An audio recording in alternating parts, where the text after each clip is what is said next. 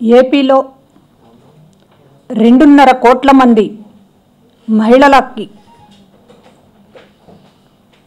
ఈరోజు ఒక షాక్ ఇచ్చేటటువంటి విధంగా ఏపీ ప్రభుత్వం విడుదల చేసినటువంటి GO GO MS number four seventy. ఈ జీవోని నిన్న నవంబర్ పదో తేదీన రిలీజ్ చేశారు. Four seventy GO four twenty ప్రభుత్వం ఇచ్చినటువంటి ఫోర్ సెవెంటీ జీవో ఇది. ఇది ఎంత మోసకారితనం అంటే ఎంత చీటింగ్ అంటే ముఖ్యమంత్రి చంద్రబాబు నాయుడు గారు ఆ రోజు పాదయాత్రలో మద్యానికి కుటుంబాలు చిన్నాభిన్నమవుతున్నాయని వాళ్ళ కన్నీళ్ళకి నా మనసు కరిగిపోయిందని అందుకని అధికారంలోకి వస్తే మొదటి సంతకం బెల్ షాపుల మీద పెడతానని బెల్ షాపులు రద్దు చేస్తూ పెడతానని ఆ రోజు మాట్లాడినటువంటి ముఖ్యమంత్రి ఆ ముఖ్యమంత్రి అయినా ఈ జీవో ఇచ్చింది అని ఆశ్చర్యం కలుగుతోంది. ఈ జీవో సారాంశం ఏంటంటే అనేక సవరణలు తీసుకొచ్చారు. మద్యానికి సంబంధించినటువంటి ఇప్పటిదాకా అమలవుతున్నటువంటి అన్నీ కూడా ఎత్తేయడానికి పాత జీవోలలో ఒక పది జీవోలలో వీటన్నిటిలో కూడా సవరణలు చేస్తూ ఉన్న నిబంధనలన్నింటినీ ఎత్తేస్తూ ఇష్టం వచ్చినట్టు అమ్మడానికి ఇష్టం వచ్చినట్లు తాగడానికి రాచమార్గం వేస్తూ ఇచ్చినటువంటి జీవో ఇది. ఇందులో వాడిన భాష. ఈ సవరణలలో దేనికంట ఈ GO తీసుకొచ్చిందంటే bar and beer. Selling by bar and beer and wine parlours. ఇవి వీటికి లైసెన్సులు ఇవ్వడానికి ఇచ్చినటువంటి జీవో. వైన్ పార్లర్లట బార్ అండ్ బీర్ అంట ఇంకా ఏంటి రెడీ టు డ్రింక్ అంట. ఇంత అందమైన పదాలని ముఖ్యమంత్రి ఎట్లా పెట్టగలుగుతాడు? ఒక లిక్కర్ ఏజెంట్ అయితే తప్ప లిక్కర్ షాపులకు ప్రమోటర్ ఏజెంట్ అయితే తప్ప ముఖ్యమంత్రి ఎవరు కూడా ఇంత అందమైనటువంటి పేర్లు పెట్టలేరు. ఈ రోజున ఈ జీవో మున్సిపల్ కార్పొరేషన్లో కానీ బీచ్ల్లో కానీ ఎక్కడ ఫుడ్ దొరుకుతున్నటువంటి ఏ ప్రదేశంలోనైనా ఆహారం దొరికేటటువంటి ప్రతి పార్లర్లో ప్రతి ప్లేస్లో రెడీగా తాగడానికి వీలుగా సీసాల్లో కానీ గ్లాసుల్లో కానీ అమ్మడానికి వీలుగా ఇవాళ సవరణలు తీసుకొస్తూ ఈ జీవోనిచ్చారు.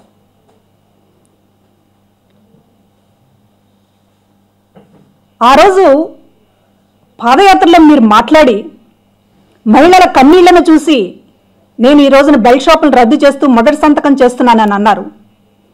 ఆ బెల్ట్ షాపుల రద్దు రుణమాఫీ సంతకంలానే తయారైంది.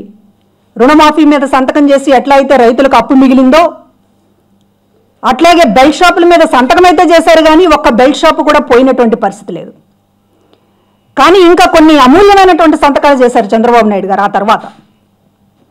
బెల్ట్ షాపులు రద్దు సంతకం అనేటటువంటిది చెల్లలేదు కానీ మద్యం ఉత్పత్తిని పెంచుతూ డిస్టలరీలు బ్యావరేజెస్ పెంచుతూ సంతకాలు చేశారు కొన్ని జీవోల మీద.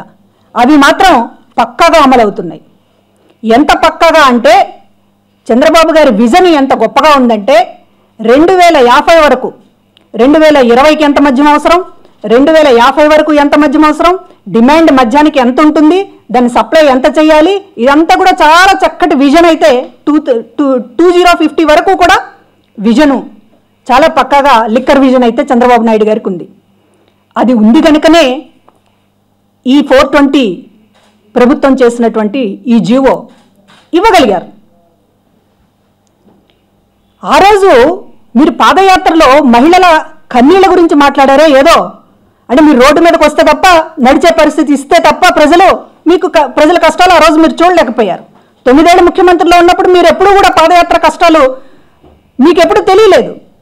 ఎప్పుడైతే ప్రజలు పాదయాత్ర చేసేటటువంటి పరిస్థితి కల్పించారో అప్పుడు మీరు మహిళల గురించి మాట్లాడారు పేదవాళ్ళ గురించి మాట్లాడారు కష్టాల గురించి మాట్లాడారు కన్నీళ్ళ గురించి మాట్లాడారు. మీరు అధికారంలోకి వచ్చిన తర్వాత ఈరోజు ఇట్లాంటి జీవోలు ఇస్తున్నారంటే పాదయాత్రని కూడా మార్కెట్ చేయగలిగినటువంటి ఘనమైన పొలిటీషియన్ చంద్రబాబు నాయుడు గారని చెప్పక తప్పదు. వింటున్నారా? హలో? ముఖ్యమంత్రి గారు రెండున్నర కోట్ల మహిళల తరపున నేను మాట్లాడుతున్నాను. ముఖ్యమంత్రి గారు మీరు ఒక రోబో ముఖ్యమంత్రి కనుకనే ఇట్లాంటి జీవోలు ఇవ్వగలుగుతున్నారు. మహిళలు ఈ రోజున ఆ రోజు పాదయాత్రలో మహిళల కష్టాలు కన్నీళ్ళ గురించి మాట్లాడి ఇవాళ ఇట్లాంటి జీవాలు ఇవ్వడం ద్వారా కనీసం బీచ్ల్లో కూడా మీరు కనీసం ఒక పరిశుద్ధంగా ఉండేటటువంటి పరి ప- ఒక పవిత్రంగా ఉంచేటటువంటి పని చేయకుండా ఇష్టం వచ్చినట్లు అమ్మకాలు తాగండి ఊగండి అనేటటువంటి లైసెన్సులు ఇచ్చిన తర్వాత ఆడవాళ్ళు ఏమైపోవాలని చెప్పి అడుగుతున్నాం. కుటుంబాలు ఏమైపోవాలి? ఇప్పటికే మద్యం అమ్మకాలతోటి కుటుంబాలు చిన్న భిన్నమైపోయి ఆడవాళ్ళ కన్నీళ్ళతోటి ఏపీ ఈ రోజున ఏడుస్తూ ఉంది. మళ్ళీ ఇప్పుడు మీరు ఇట్లాంటి జీవాలు ఇవ్వడం వల్ల మీరు కేవలం మహిళల కన్నీళ్ళ మీద మీ నారావారి సామ్రాజ్యాన్ని కట్టడానికి అందులో మీ లోకేష్ గారిని యువరాజుగా కూర్చోబెట్టడానికి ప్రయత్నాలు చేస్తున్నారు.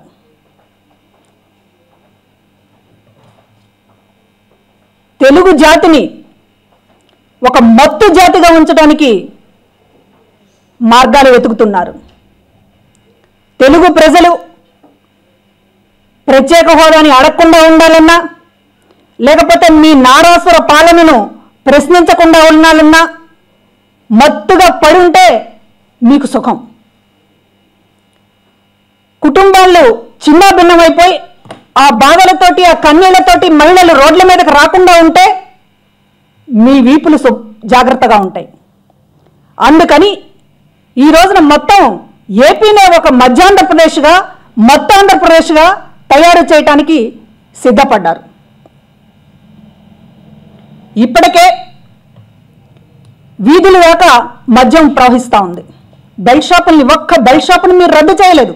రద్దు చేయకపోగా బెల్ట్ షాపులకి అనుబంధంగా షాపులని మీకు పర్మిషన్ ఇచ్చారు. ప్రత్యేకించి జీవోలు ఇచ్చి బెల్ట్ షాపులకు అనుబంధంగా కొన్ని షాపులు పెట్టుకోమని మీరు పర్మిషన్లు ఇచ్చారు.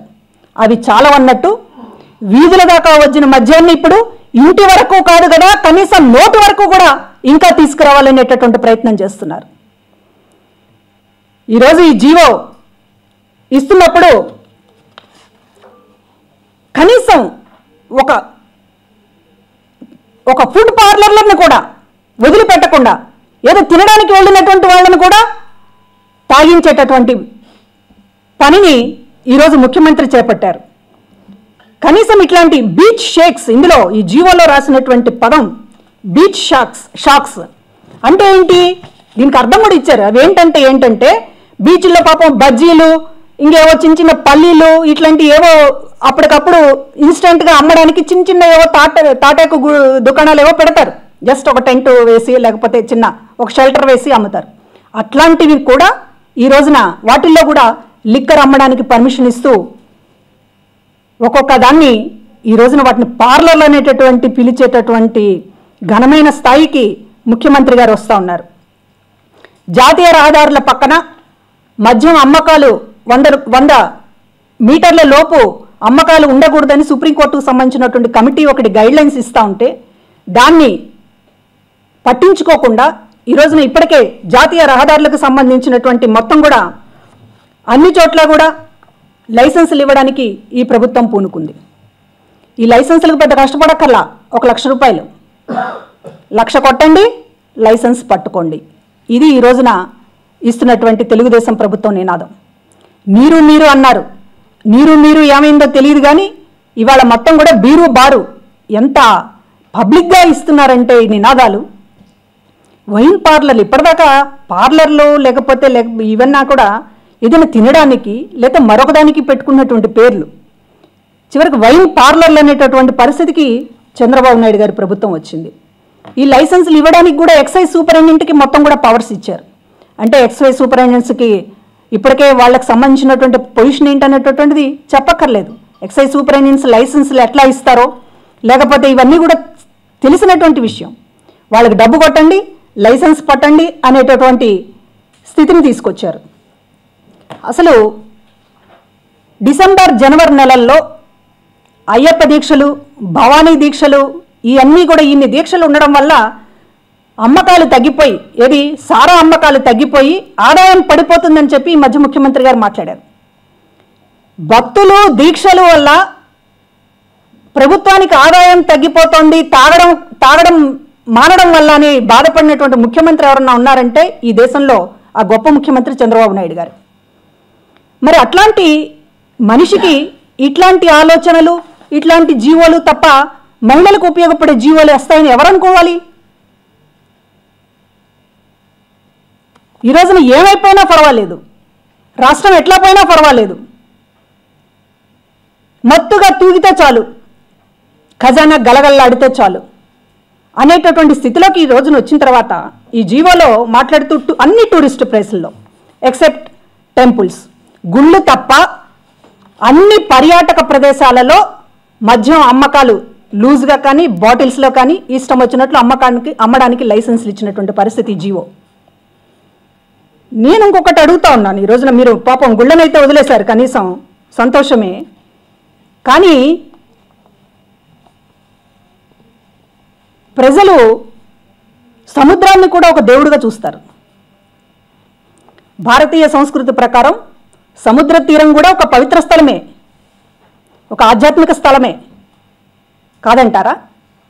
ఈ రోజున మీరు బీచ్లు బీచ్లు మొత్తం కూడా లవ్ ఫెస్టివల్స్ అన్నారు. తర్వాత బికినీల్ ఫెస్టివల్స్ అంటున్నారు. అవన్నీ దాటిపోయి ఇప్పుడు బీచ్ అంతా కూడా బీర్ ఫెస్టివల్ చేయడానికి కూడా మీరు సిద్ధమైపోయారు. ఇవాళ సముద్ర తీర ప్రాంతాన్ని ఒక పవిత్ర కా- స్థలం కాదు అని చెప్పడానికి మీరెవరు? గుళ్ళనైతే వదిలేశారు కానీ సముద్ర తీర బీచ్ అంతటిని కూడా మేము ఇష్టం వచ్చినట్టు అపవిత్రం చేస్తాము. అనేటటువంటి పరిస్థితికి మీరు వచ్చిన తర్వాత మీ- మీకు హక్కు ఎక్కడుందని అడుగుతున్నాం. రాజకీయ పార్టీగా మేమే కాదు. ఆధ్యాత్మిక సంస్థలు కూడా దీని మీద అడుగుతాయి. ఇవాళ సముద్రాన్ని కానీ నదిని కానీ ఒక పుణ్యస్థలంగా భావిస్తారు హారతలిస్తారు అది ఒక జీవజలమనో లేకపోతే మరొక రకమైన ఒక పవిత్ర స్థలంగా భావిస్తారు. అట్లాంటి ఈ రోజున మీరు తీర ప్రాంతాన్ని మొత్తం కూడా అపవిత్రం చేసేటటువంటి బీచ్లు బార్లు బీర్లు బికినీలు లవ్లు ఏం కర్మండి బాబు మాకు? ఏది మా ఇక్కడ దేన్ని ఉంచరా మీరు? దేన్ని సరిగ్గా ఉంచరా? ఒక సముద్రాన్ని మీరు సముద్రంగా ఉంచరు. ఒక బీచ్ని బీచ్గా ఉంచరు. ఒక రైతు భూమిని రైతు భూమిగా ఉంచరు. అన్నీ నాశనం చేసేటటువంటి కార్యక్రమమేనా మీది? ఏం ముఖ్యమంత్రి అండి మీరు? ఈరోజు ఇట్లాంటి జీవో ఇవ్వడానికి అసలు మీరు మీ అసలు మీ మనిషా లేకపోతే ఇంకేమన్నా ఒక మీ హృదయ స్థానంలో ఉన్న బండరాయి ఉండాలంటే మాకు అర్థం కావట్లేదు. ఎవరైనా సరే ఈ జీవో ఇచ్చే ముందు ఆడవాళ్ళు గుర్తుకు రావాలి. ఆడవాళ్ళ ఓట్ల మీద గెలిచానో లేకపోతే అనేక మంది సంసారాలు కూలిపోతున్నాయి నేరాలు పెరిగిపోతున్నాయి ఏపీ నేరాలలో టాప్ అయింది సగం కారణం ఈ లిక్కర్ వల్లే. దీన్ని తగ్గించడానికి ఆలోచన చేయాలి కానీ ఇష్టం వచ్చినట్లుగా తినే చోట మనిషి ఏదో విశ్రాంతి కోసం వెళ్ళేటటువంటి బీచ్ల దగ్గర అన్ని టూరిస్ట్ ఏదో సరదా కోసం వెళ్ళేటటువంటి టూరిస్ట్ ప్లేసుల దగ్గర అక్కడ ఇక్కడ ఎక్కడా లేదు. అన్నిట్లో కూడా మేము మందు బాబుల్ని వీరంగం వేయిస్తామనేటటువంటి స్థితికి చంద్రబాబు నాయుడు గారు దిగజారిన తర్వాత మహిళలు కానీ ఏపీ రాష్ట్రంలో ఉన్నటువంటి ప్రజలు కానీ ఈ రోజున చంద్రబాబు గారిని నారా చంద్రబాబు నాయుడు అనాలా? లేకపోతే సారా చంద్రబాబు నాయుడు అనాలా? ఈ జీవోని తక్షణం ఉపసంహరించుకోవాలని వైఎస్ఆర్ కాంగ్రెస్ పార్టీ డిమాండ్ చేస్తూ ఉంది. ప్రజల కన్నీళ్ళను పట్టించుకోకుండా మహిళల కష్టాలను పట్టించుకోకుండా మీరు రాష్ట్రం మొత్తాన్ని కూడా ఈ రోజున బారు బీరోకి ఒక సెంటర్ చేయదలుచుకున్నారు.